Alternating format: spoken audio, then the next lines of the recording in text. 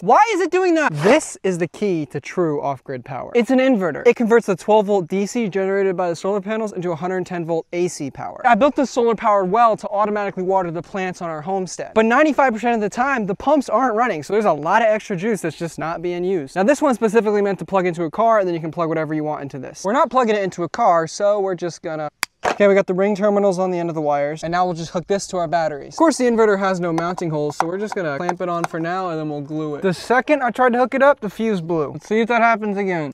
What the frick? Why is it doing that, dude? Something ain't right. I figured out the problem and it's completely my fault. I had the battery flipped around. You can't see the terminals and I had everything that was supposed to be positive wired to negative and vice versa. It all worked fine until I tried to hook the inverter up. So I've unhooked the batteries and flipping it around, rewiring everything. I have completely rewired the entire system. So if I put this 50 amp fuse in here now, it should not explode. It didn't explode turning it on? Hey, we got power and we didn't blow it up. Another benefit of actually fixing this is that my battery light is on now, which tells me that the entire time I've been bragging about my solar system, the batteries haven't even been charging. Since we have power and water now, my plan was to use this electric pressure washer to clean the four-wheeler, but that's only a 400 watt inverter and this thing is way more than that. Plan B, can we charge my tools? Yes, okay, it's charging. Well, unfortunately, we're not gonna be able to pressure wash off grid yet, but we can charge batteries, trickle chargers, or phones, and we fixed the entire solar system so the batteries are actually charging now. Hey, stay tuned and hit that follow button to see me make that entire treehouse completely solar powered.